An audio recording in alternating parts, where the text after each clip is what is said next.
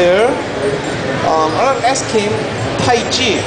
Tai Chi is Oriental Asian exercise movement for health. Do you know what is Tai Chi? So the, when movies, move, music is flowing, he will start to dance, he start dance movement very slowly.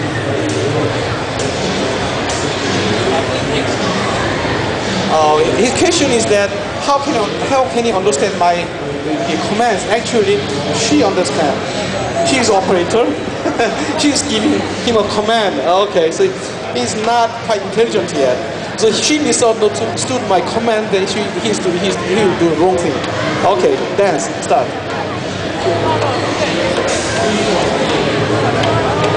See carefully his finger movement.